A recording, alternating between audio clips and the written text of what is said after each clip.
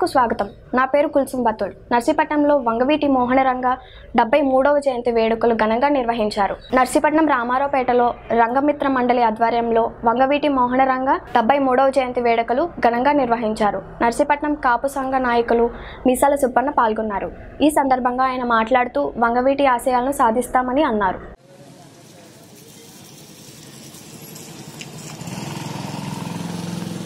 జోహార్ వంగవీటి మోహన రంగా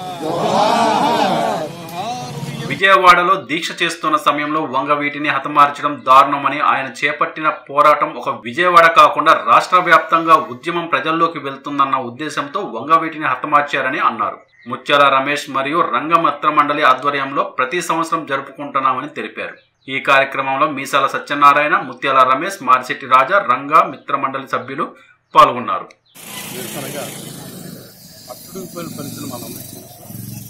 సుమారు నలభై రోజులు కర్ఫ్యూ విధించడం అంటే ఈ దేశం మొత్తంలో ఇప్పుడు కూడా అన్ని దినాలు కర్ఫ్యూ విధించలేదంటే మరి రంగా గారు మరి పేద ప్రజల హృదయాల్లోని వారి యొక్క ఇతరుల హృదయాల్లోని ఎంతటి స్థానం సంపాదించారో మనందరికీ అర్థం అవుతా ఉంది.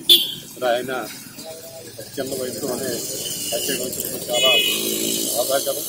మరి ఆయన జీవించుంటే ఆయన ఆఖరి శ్వాస వరకు కూడా బడుగు బలహీన వర్గాల కోసం కార్యక్రమ సంక్షేమం కోసం విద్యార్థి సంఘాల సంక్షేమం కోసం వారి భవిష్యత్తు కోసం అనేక పోరాటాలు చేసినటువంటి మహాయోధుడు. ఆయన లేకపోవడం చాలా బాధాకరం. ఆయన యొక్క ఆశయాన్ని మేము భవిష్యత్తులో కూడా కొనసాగిస్తామని చెప్పేసి ఈ సందర్భంగా మనం చేసుకుంటాం. మరి ఈరోజు ముత్యాల రమేష్ ఆధ్వర్యంలో మరి ప్రతి ఏటా కూడా ఈ కార్యక్రమాలు చేసుకోవడం వారిని ఆర్థిక సాధన కోసం కృషి చేస్తామని చెప్పారు. ఆశయం తీసుకోవడం చాలా సంతోషం తప్పకుండా మరి.